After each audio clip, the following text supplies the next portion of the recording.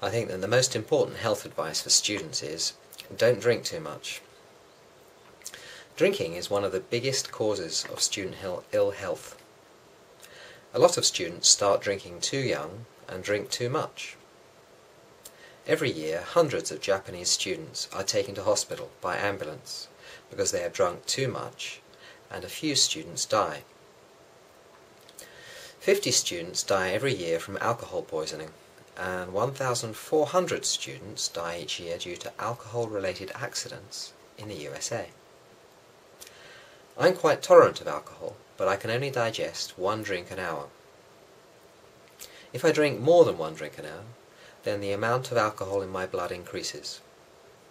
I weigh 55 kilograms, so the lethal dose of alcohol for me is about nine drinks. People who go red when they cannot when they drink cannot digest alcohol, so smaller amounts of alcohol are very poisonous for them.